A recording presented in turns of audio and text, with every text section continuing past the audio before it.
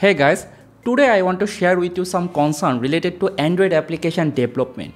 Basically, if you are intermediate or advanced Android application developer, you should know the pitfall about the security of Android application this will be a two-part video series. So in this episode, we will learn how to reverse engineering Android application. So we will download an APK file from Google Play Store. Then using some free tools, we will reverse engineer the APK file to see the code. If the APK file is protected using any premium software, then we cannot reverse the code actually. So if the code is obfuscated, then it will also be difficult to read the code.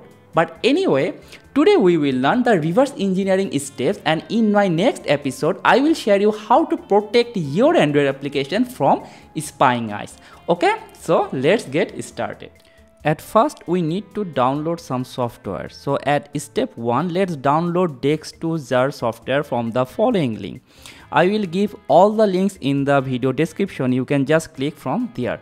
So if you want to see the code, there is a GitHub link as well okay so here you can see the open source code. So but you have to download this dex2jar software by clicking uh, this download button. So that is from sourceforge.net so after downloading the software just put your software in a directory. So in my case uh, in my case uh, in the desktop directory demo 3 i put the dex2jar 2 that is an unzipped version. Okay?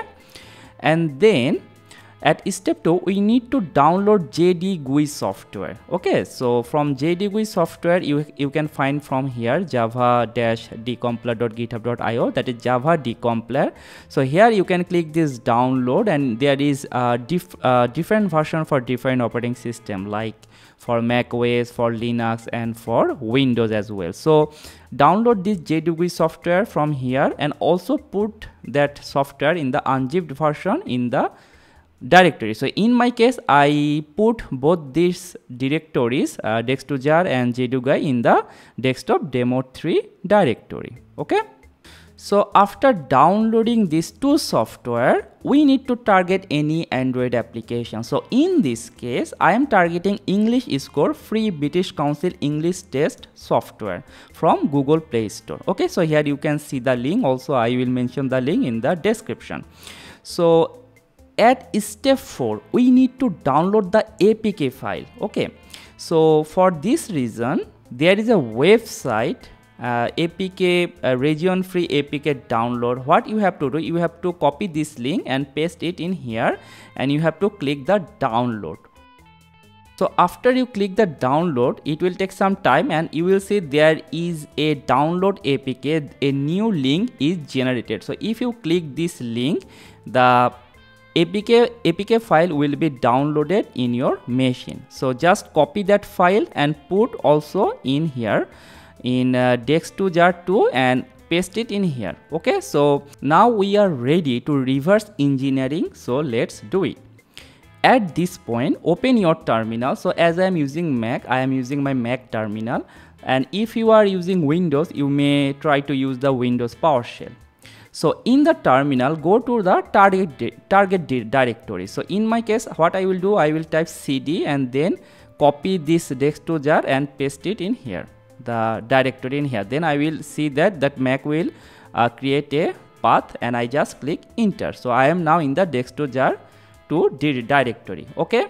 Now I need to fix some permission for uh, there are you see that in this directory there are some script basically shell script and for windows bat script. So in the mac you also need to change the script permission otherwise the thing will not run. So what i will type change mode and then 0777 and start. So it will uh, give the read and read writing and executing permission for all the file. Okay?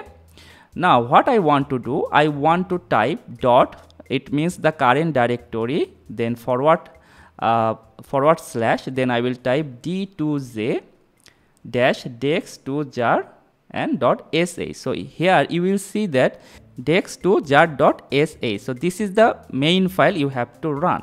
And then what you have to type the apk file name. So if i type eng and click tab then the full file name and the path will be uh, automatically written in here. Then what I have to type I have to just click enter.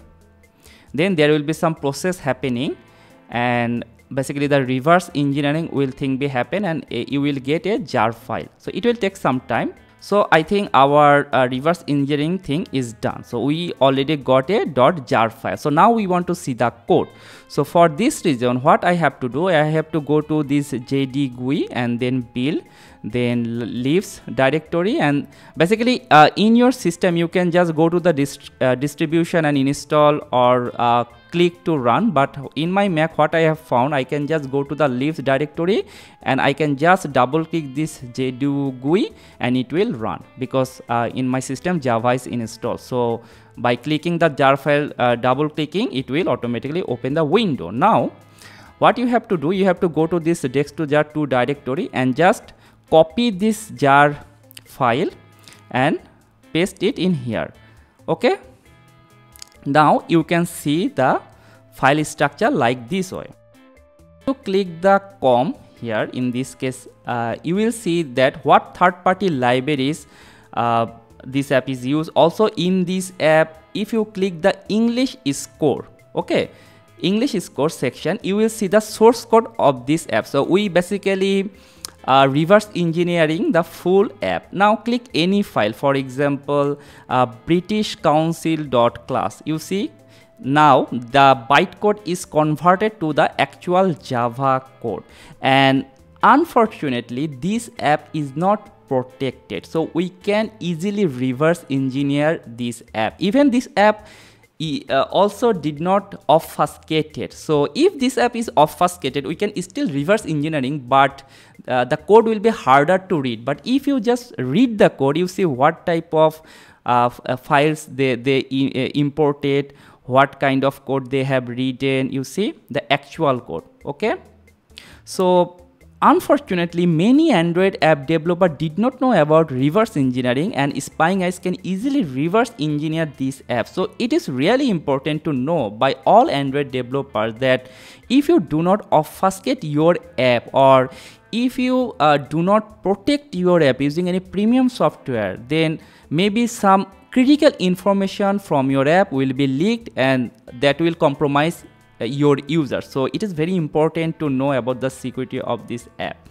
And if you click different class of this application you can see all the code. Now think if you are an android developer you are developing a financial or banking app and did not use any obfuscation technique or especially for financial type app you did not use any protection then how easy it is for hacker to hack your application or breach the security right?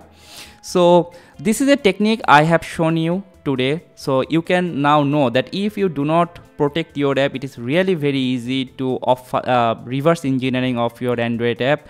And there are some other tools using that we can also reverse engineering of any android application if that is not protected okay? So i hope you always keep this thing in your mind. And in my next video i will teach you how to protect your android apps from spying eyes okay? If you like this video please give us a thumbs up. And if you have any question just ask me in the comment section. I hope to see you again in my next video